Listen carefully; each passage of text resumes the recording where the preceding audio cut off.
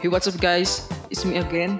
In this video, I will show you how to move SteamFix to the main folder of Minecraft Dungeon. If you are new to my channel, subscribe. Press the notification bell so that you're always updated.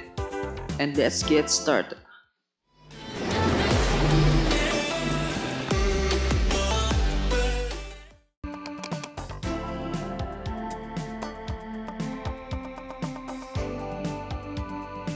In the fix repair. And then extra. Always the password is online slash fix.me then control A to select all and then control X to cut and then control V to paste and replace.